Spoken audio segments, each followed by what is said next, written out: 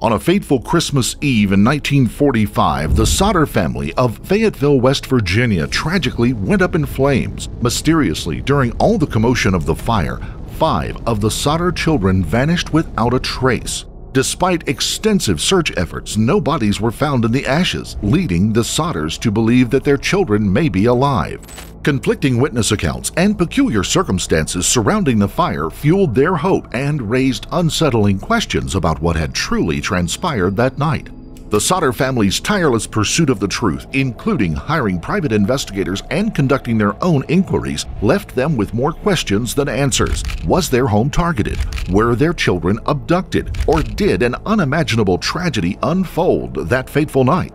By now, years have passed, and yet the mystery of what happened to the Sodder children still remains unsolved.